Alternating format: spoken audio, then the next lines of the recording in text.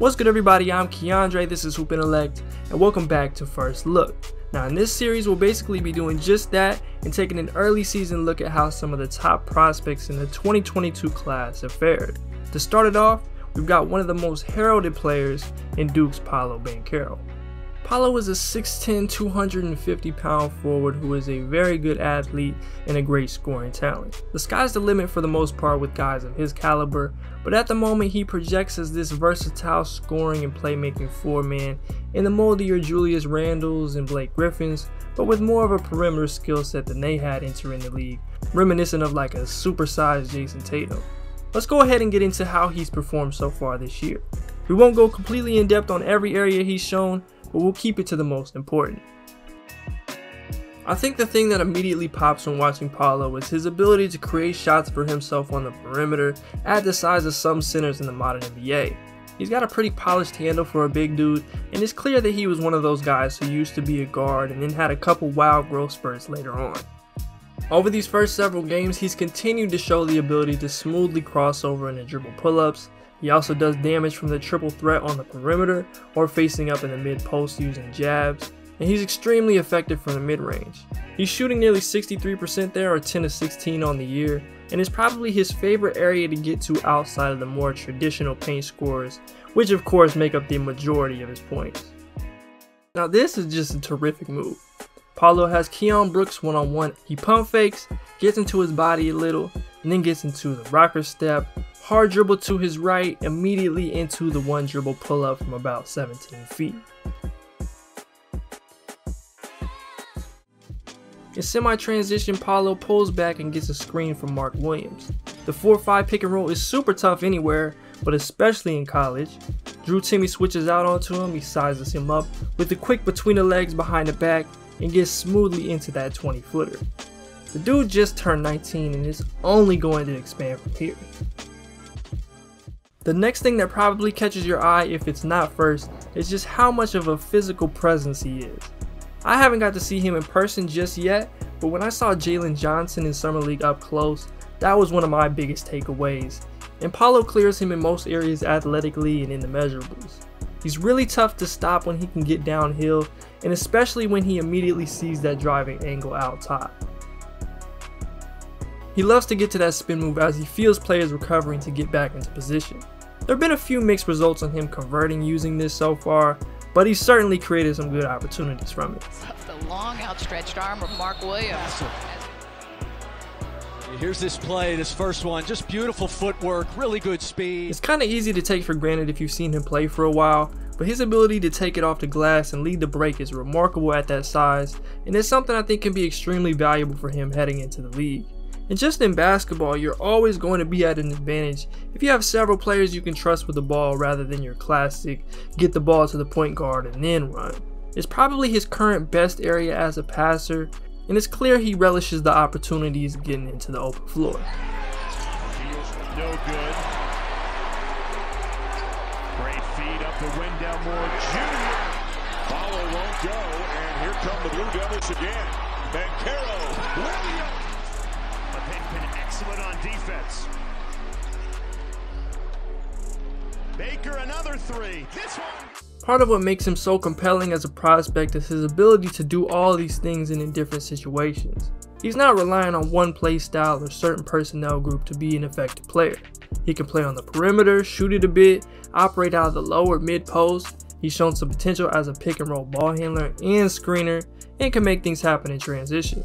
I'm not saying all these are complete finished pieces of his game, but the potential versatility is there and it's an enticing set of attributes to work with. There's definitely promise on the defensive end too, and we'll get into that a little bit more here in a second.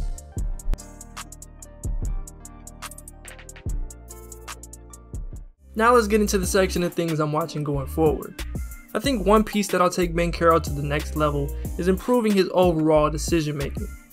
He's done a pretty solid job of keeping the turnovers down in the macro, especially against the big time opponents, so I don't want to mislead, but this is just an overall area I think he can still get better at. There are times when he can get out of control or a bit sped up while driving, resulting in a charge or just leaving more to be desired when he's operating in traffic.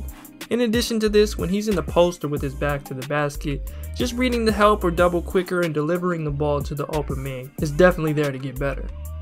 A play like this is a good example. I know he sees Wendell over there, but for whatever reason he doesn't make the pass until he dribbles all the way into the middle of the paint, missing out on a potential great shot.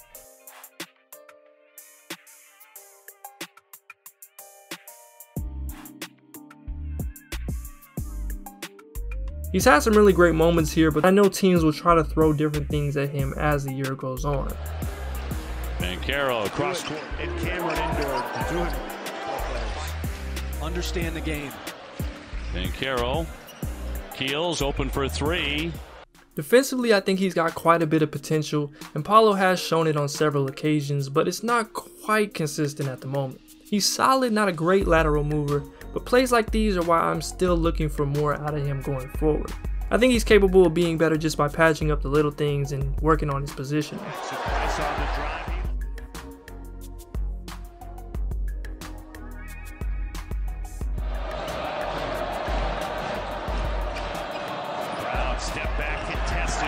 Also, being more aware of the plays developing and where he is in terms of help position will take him a very long way.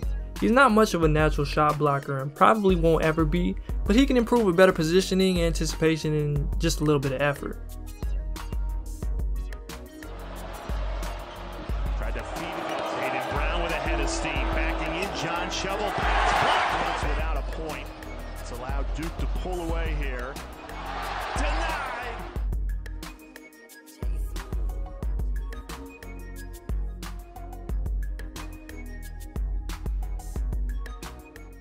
We'll save all the mechanics and everything else for another day. How his three point shot looks down the stretch of this season could be an important piece, and I'm not necessarily talking about the college percentage, but more of his effectiveness, the volume, and the projectability of his shot in general.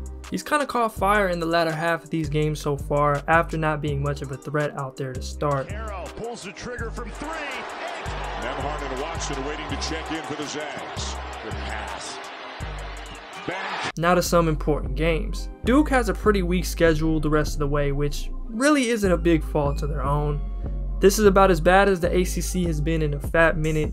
However, I'm interested to see how Paolo performs in another Bright Lights game like UNC, and really just his game to game consistency and improvement heading into tournament season. I have to mention that this man reportedly sweats 7 pounds during games, and on the surface that sounds insane, but for a guy his size it's actually not too far from the ordinary. This clip from Brian Sutterer does a great job of explaining what's going on here in terms of his cramps and hydration issues. This headline of 7 pounds of sweat loss during exercise is in no way alarming in and of itself. The key is to replace those 7 pounds of loss with adequate fluid and electrolyte replenishment. Certainly if that neuromuscular fatigue doesn't improve for Paolo throughout the season, or he continues to have some susceptibility based on levels of dehydration, or even sometimes when athletes come into games a little bit less hydrated, they can be more susceptible, then yeah, I could see it being an issue going forward. But most of the time, these guys have access to resources that are good enough at controlling these things that I don't think it would be a big issue going forward. I think it's safe to put Paolo Banchero in easy top two contention for the 2022 draft. Right now, he's my number one player, and while things could definitely change, I don't see many scenarios where he's not at least top 3 pick next June for many of the reasons we talked about in this video. I appreciate you guys for watching. I expect to do a few more of these covering some of the other top and most interesting players in the class, so keep it locked if you're ready for it. If you enjoyed this video, be sure to leave a like, subscribe if you're new, and comment down below what you think of Paolo's game. I'm Keandre, this is Hoop Intellect, and I'm out.